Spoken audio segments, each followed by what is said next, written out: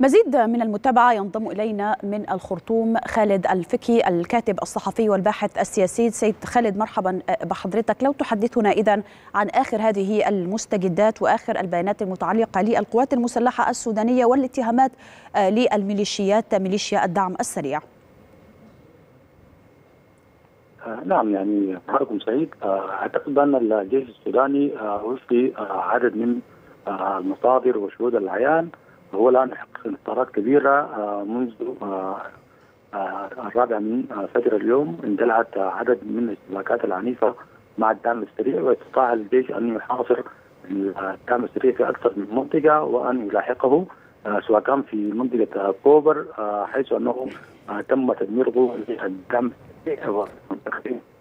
سلاح الإدارة وذلك أيضا هناك في مناطق جنوب الخرطوم في محيط معسكر دعم السريع بأرض المعسكرات حيث اضطرت هذه القوة أن تنسحب وتحتل جامعة أفريقيا قصدا كليتي الشريعة والطب وقامت في داخليات الطلاب الذين هجروها منذ اندلاع الاشتباكات. فاذا الدعم السريع وقواته الآن هي تلوز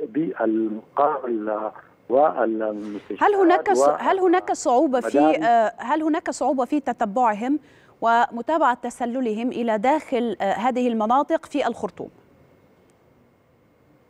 نعم نعم نعم أعتقد أن أن المشكلة الرئيسية التي تواجه الجيش أن الآن الدعم السريع هو يحتمي بالاحياء السكنيه لأن هذه المناطق التي اشرت إليها سواء كانت جامعة أفريقيا أو الكليات الملحقة بها هي في محيط محيط مساكن شعبية ضخمة جدا. عدد من من الأحياء الشعبية سواء كان في شرق جنوب الخرطوم سواء كان حي المجاهدين أو حي المعمورة أو الفردوس أو الكويت أو الأسري أو الإنغاز.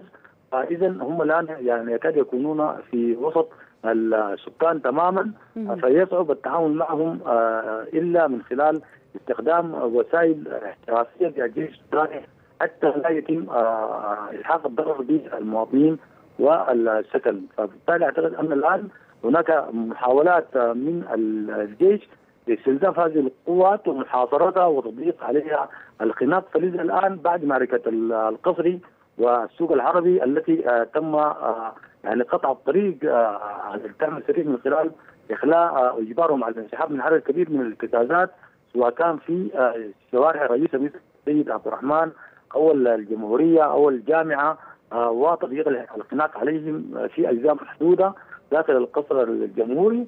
أعتقد أن عدد كبير منهم الآن اضطر للانسحاب في طريق الخروج في طريق الخروج من الخرطوم بشارع عبيد ختم في محاولة للاحتجاج وتجميع الصفوف في معسكر معسكر الدعم السريع الموجود هناك في جنوب الخرطوم الآن نشأت هناك طلعات جوية لملاحظة هذه القوات التي هي الآن تحاول أن تذهب في اتجاه عبيد ختم أو في شارع المطار أو في شارع الستين لمحاوله اجتماع الصفوف.